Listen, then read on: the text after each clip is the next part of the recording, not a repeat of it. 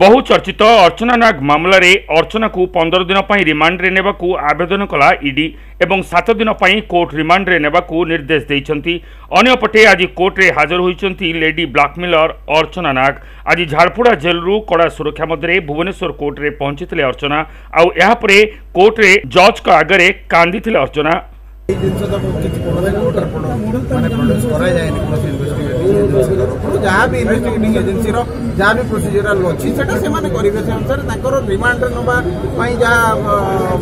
requirement ଯାହା ଯେଉଁ procedure ଅଛି ଲିଗାଲ ସେଇଟା